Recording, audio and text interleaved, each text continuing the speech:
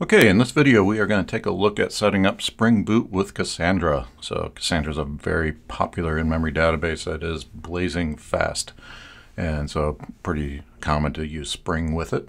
And in this, we're going to take a look at setting up a pretty simple Spring Boot application.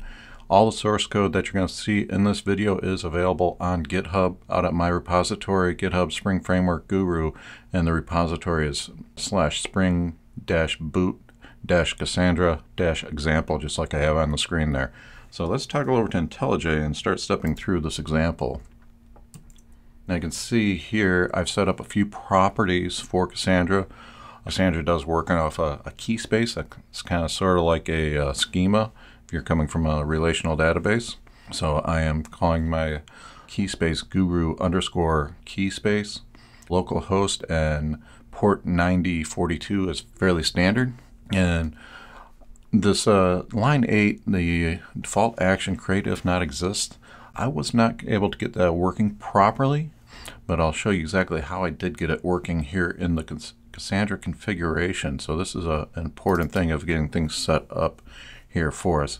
So I am setting up a final key string here, and it was here on line 24 that I got that create if not exist for us to work for the schema objects. Now, on line 29, this is where I actually create the key space, and I'm using Spring to do this.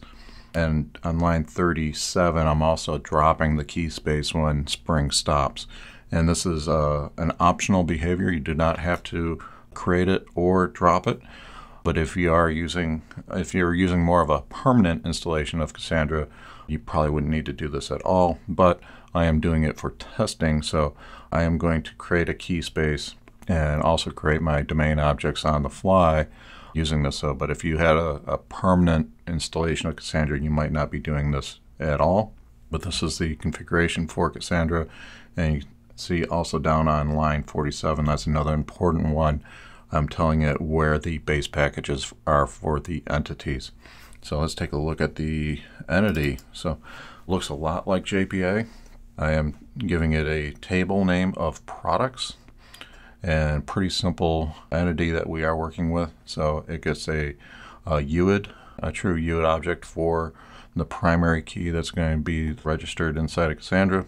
And then we have a description price and image URL, just a couple simple strings and a, then a big decimal for the price.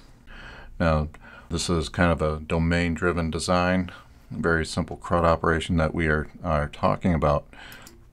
And to work with this, I've set up a repository, CRUD repository, using product and UID. And this is right out of Spring Data. So I am using Spring Data for Cassandra.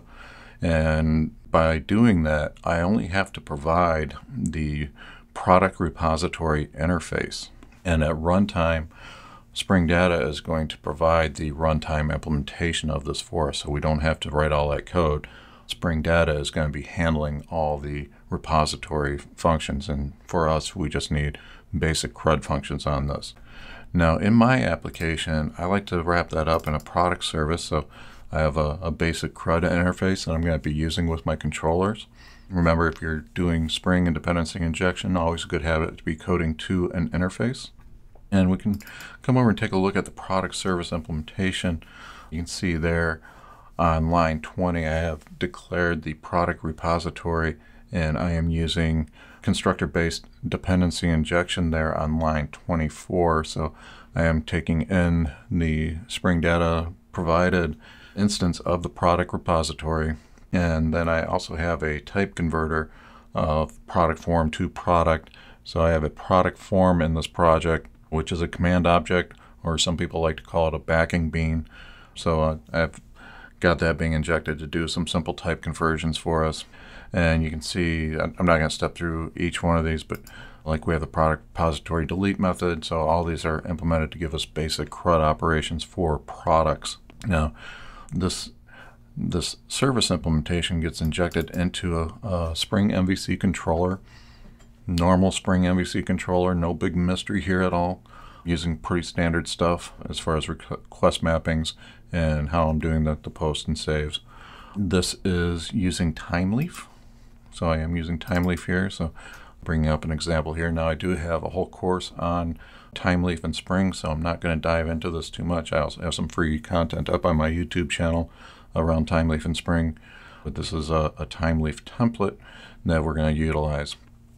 Now, I am going to go ahead and start this. So I'm going to run this application. And while Spring is starting up, I am running Cassandra in Docker. And so I've run it right to the, the console, not running in the background.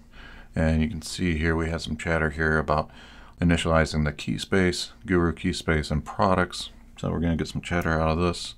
Let's take a look at the web application. Do a quick refresh here. There is no product to view. Let's go ahead and create one. And we'll just give it a simple URL. So there's no validation going on here.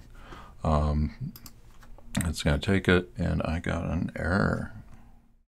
Okay, I've done an, uh, gone ahead and did a little uh, research on what was going on here, and the problem was is that Cassandra does a time-based UID, so kind of telling me right there an invalid version, and by default, Spring Data is going to be using a randomly generated UID, which fails uh, validation of a time-based UID. So quick search on that. I'm setting it to a regular UID here for the Cassandra driver, and that should get us up and going again. I'm going to restart things. So I'm going to stop Spring application, come over here. I'm stopping uh, Cassandra, and I am running it via Docker in a container, so I'm going to bring that back up. So if you're not playing with Docker yet, you should be. And I do have a class coming out specifically on Docker. So a lot of neat stuff you can do with Docker. So we are got Cassandra almost back up. And he is up now. So let's come back over to IntelliJ and try this one more time. Go ahead, uh, start the Spring Boot application, and that's going to come up pretty quick. So we can see that that is back up. Now let's go ahead and see if we can, I'll do a refresh here. Oh, cancel that. We don't want to re repost. So no products in the database. Let's see if we can go ahead and create one now. And there, that, that was, was the problem. So we are able to get products. So let's go ahead and step through this. Here's a, a list of products. Let's edit him just to prove that we can edit. And we can see that the values are, are in fact changing.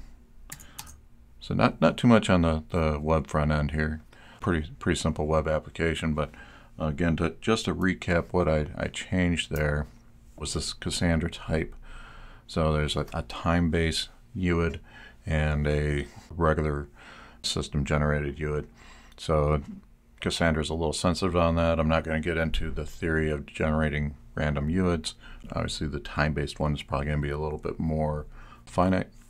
So, but I, am not going to get in, into that. The, the biggest thing was to set it up in regular UID rather than a time UID, which is the default of Cassandra. So just to, as a quick recap of the Cassandra configuration, a few properties here. Spring Boot is going to provide you a, a variety of properties but you do want to set up your key space, your local host, port 9042. On line 8, the schema action I was not getting to work until I got into the Cassandra configuration and explicitly set that on line 24 as a schema action to create if not exist. And what this is going to do, just to, to recap, is if the product table doesn't exist inside of Cassandra, Spring Data is going to go ahead and create it. So, but in this way, we have Cassandra running in a Docker container, vanilla out of the box Cassandra, no configuration done to it, and Spring Boot is or Spring Boot slash Spring Data JPA is giving us everything that we need to connect to Cassandra, create our key space, and create our, our tables inside of Cassandra, very much like it would do with uh, Hibernate. So pretty, pretty nice setup here. And uh, again, here on line 38, just as a reminder, this is dropping the whole key space, so something you probably don't want in a, a production system. I imagine bad things could happen from that, but uh, again, this is just a, a play test, and I am by no means an expert on Cassandra, but it is a, a very neat technology, and you can see how easy it is to get Spring data and Spring Boot talking to uh, Cassandra.